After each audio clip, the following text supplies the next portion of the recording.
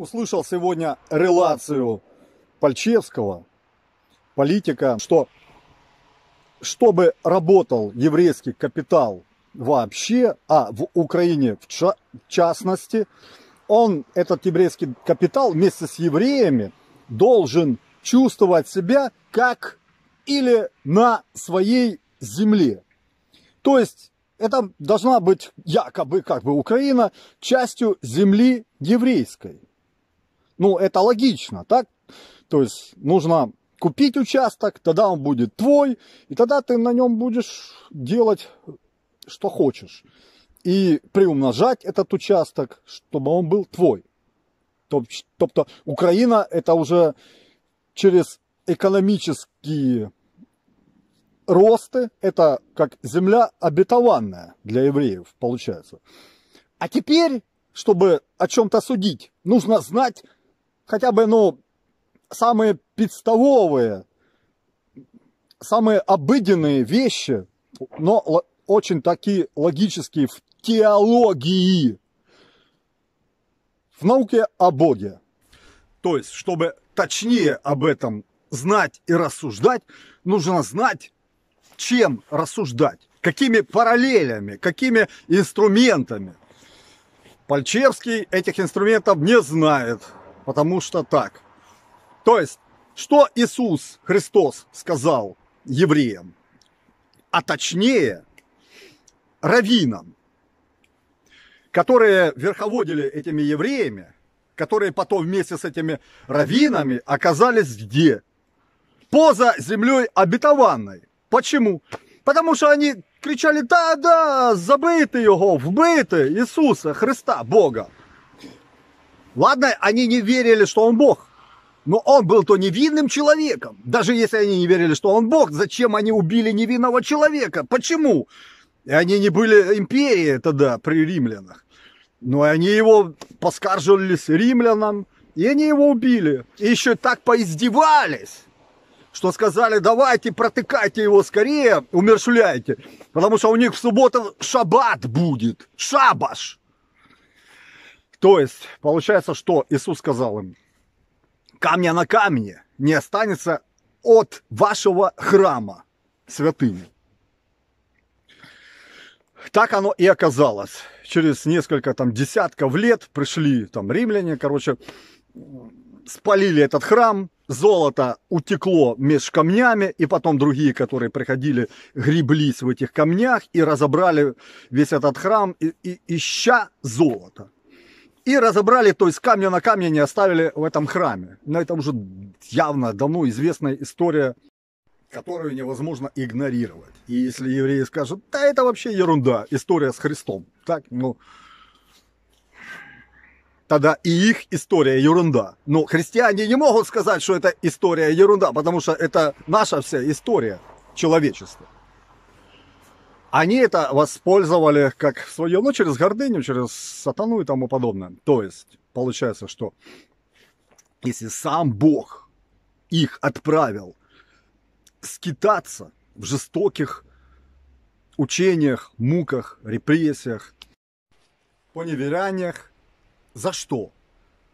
За то, что они распяли Бога, предали его подло, смерти невинного человека, даже если они не верили, что он Бог. То есть он, Бог их отправил на скитание. Перед этим об этих скитаниях, жестоких муках и выпробованиях говорил пророк Исаия, что так будет и так должно быть, потому что по-иному быть не может, как через что? Через покаяние. А что такое через покаяние? Это что значит? Ушли они с Рим, там, где-то там при Римской империи были, ушли они с земли. Обетованной потом, что? Пришли на терены польские и Украины. Современные. Да? Сейчас Украина современная. Что говорят евреи? Что это их земли, бывшие якобы их Хазария, там они были, их каганаты. До еще існування України неньки матінки і до існування той самої польської матінки для поляков. Почему Бог так сделал, что они же были до Украины, якобы, и до Польши. Так, были там евреи в этих землях. И почему-то не стало этой панства еврейского, не постало. Страны, монархия или как-то там до этого было. Феодальные там отношения и тому подобное. То есть не то, что там империи, вообще не было. Все, они как были, как и не было. Просто исторически они там жили на этих землях, ходили, проходили, уходили и не повстали. Потому что что? Потому что Бог им, великий всемогущий Бог наш, который сотворил всех нас и расставил делать плюс по воле своей и по его желанию делать, как он считает нужным. Потому что он сотворил нас, и он знает, лучше, как ему нужно, чтобы мы делали.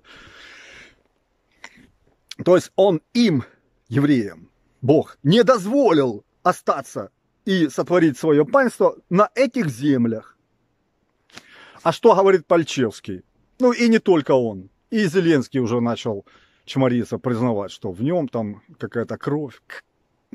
Короче, сенс в том, что если они сейчас здесь будут обосновываться не на своих землях, а, а своя земля это та, которую им Бог дал в самом начале при Моисее.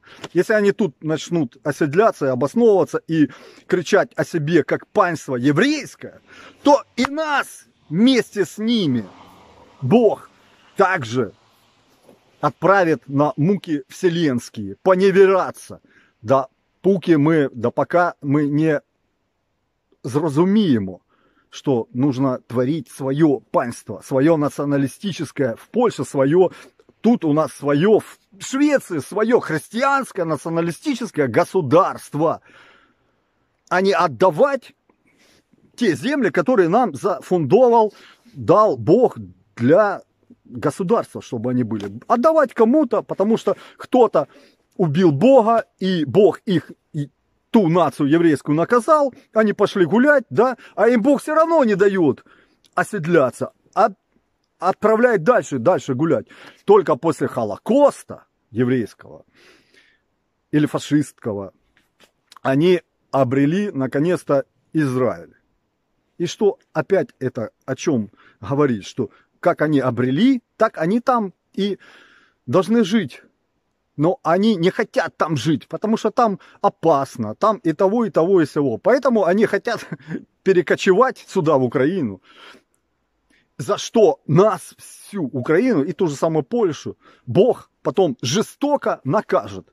Дуда, Анджей Дуда, зараз переконався в цьому що він настільки оці два роки правління був, бігав за цими за равінами, бігав, бігав за ними, потирав їм все, що можна, потирав, що його те же самые раввины на этом путиновском собрании по Холокосту или по речнице чего-то там, которое вот на днях было, не допустили до голосу. Так що Анжейка Дуда вже нарешті переконався, з ким він має до, до справи.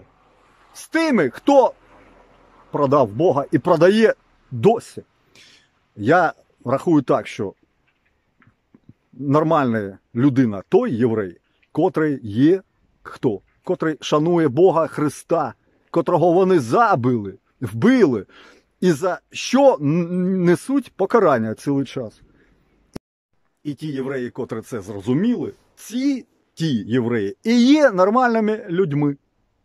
А ті, котрі не розуміють, котрі підбурюють через Соросовське бабло, через Путіновське бабло, будь яке що бабло від сатани, ті ненормальні люди. Я так вважаю. І це це нормально, це логічно. Це не тільки я так вважаю, а це іще й Біблія так каже.